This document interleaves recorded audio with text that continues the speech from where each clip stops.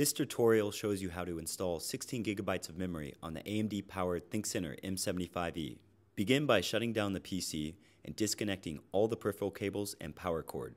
Lay the PC flat and open the cover by unscrewing the two hand screws. Unclick two tabs to remove the bezel cover, and be sure not to harm the wire connected to the power button when removing the bezel face. To open the tray, push the tabs and raise up. Locate the memory module slots and open the tabs. Now, take each of your 4GB DDR3 1333 memory and insert them into each of the slots.